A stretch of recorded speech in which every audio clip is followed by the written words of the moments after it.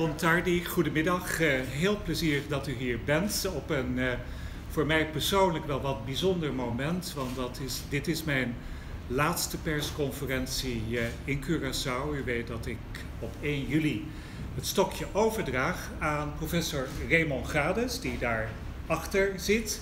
Uh, hij zal vanaf 1 juli beginnen. En ik ben uh, bijzonder blij dat uh, hij dat gaat doen en dat zal zonder meer goed verlopen. Heel plezierig dat we hier zijn. dank u wel. we hebben zoals gebruikelijk hier gesprekken gevoerd op Curaçao. We zijn hier vanaf maandag. Hoe staan we ervoor? Even terugblikken, misschien het jaar 2016 waren wij aanvankelijk wat beducht dat eh, het jaar met een tekort zou eindigen. U weet dat is niet de bedoeling. We maakten ons daar wat zorgen over.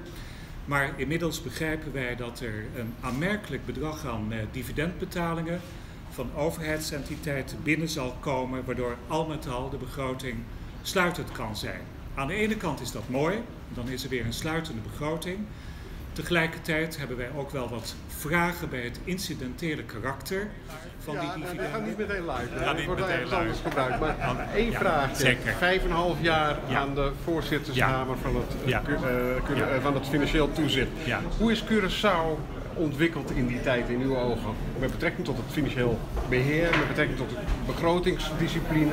Ja, ik denk dat van de landen Curaçao wel een succesverhaal is. Zeker als u weet waar we vandaan komen. Land Nederlandse Antillen, natuurlijk toch met Curaçao als belangrijkste land, heeft een historie van uit de hand lopende begrotingen. De schuld die steeds groter werd. Dat nu vier jaar op rij eh, de begroting sluitend is gemaakt, dat is een prestatie van formaat. Dus ik denk wel degelijk, en dat moet uiteindelijk in de genen gaan zitten. Je moet er ook echt in Dat geloven. zit nog niet in de geen. Nou ja, je moet eh, als statenlid eh, bijvoorbeeld weten dat als je met een voorstel komt in de Staten, dat, het wel, eh, dat je dan ook moet aangeven waar het geld vandaan komt. Dat is natuurlijk, dat moet je als het ware met elkaar afspreken. Dan zegt u daarmee meteen ook het zwakke punt van, ehm, van de hele discipline van begroten en uitgeven eigenlijk bij de staten ligt. Nou, ehm, ik denk dat je dat breder moet zien, eh, ook bij ministers. Het is een kleine gemeenschap. Er bestaat natuurlijk de neiging, iedereen wil iets laten zien, wil een pet project hebben. Begrijp dat wel, maar ja, governing is about setting priorities. Hè. Je moet prioriteiten stellen als regering en dat is lastig in een kleine gemeenschap. Curaçao zo klein is Curaçao niet, maar niettemin is dat wel lastig. Dus dat gaat meer dan, is breder dan de staten, dat is de staten en de regering.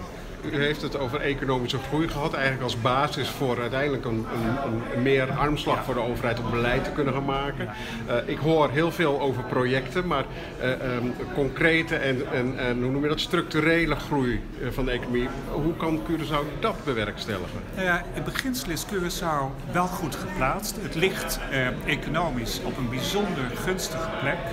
Het heeft een per capita inkomen, inkomen per hoofd van de bevolking, wat gunstig afsteekt bij de andere landen in, het- in het Caribisch gebied, meer dan het dubbele eh, dan andere landen. Eh, en het heeft meerdere poten waarmee het loopt. Eh, het is ietsje minder kwetsbaar, want het heeft en toerisme, een haven waar veel potentieel in zit, een olieraffinaderij waar mogelijk in geïnvesteerd wordt. En het heeft een financiële sector. Die financiële sector is wel een teruglopende zaak. Curaçao is overbankt. Dus je hebt eigenlijk zou je weer moeten zoeken nog naar een vierde poot. Nou, die zit denk ik heel sterk in de handel richting Zuid-Amerika, waar je groeilanden hebt als Colombia, ehm, uniek geplaceerd om daar te zitten. Eh, ik zou hopen dat meer Nederlandse bedrijven dat gaan zien.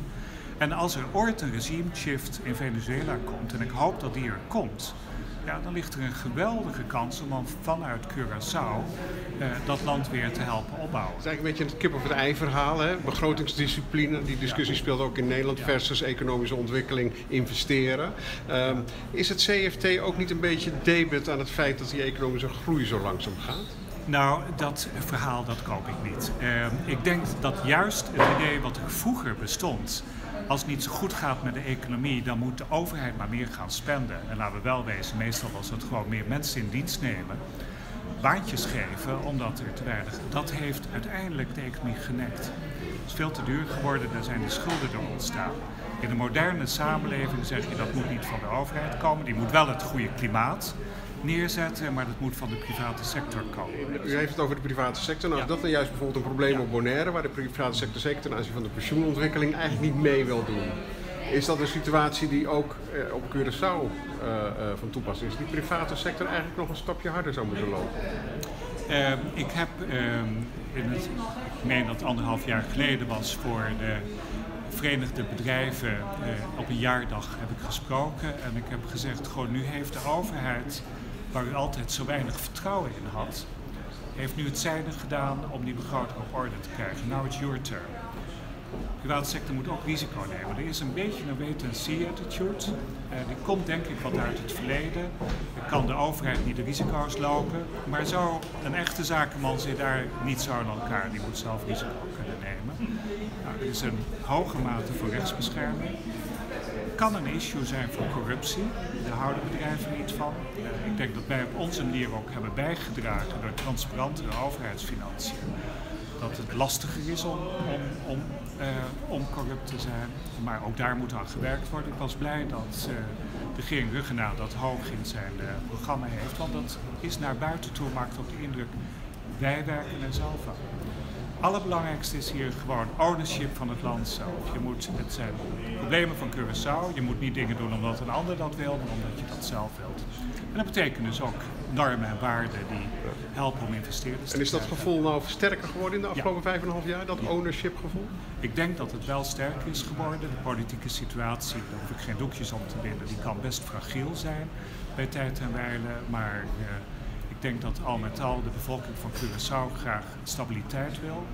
Dat ze graag wil dat er jobs komen voor hun kinderen. Uh, graag willen dat het onderwijs beter wordt.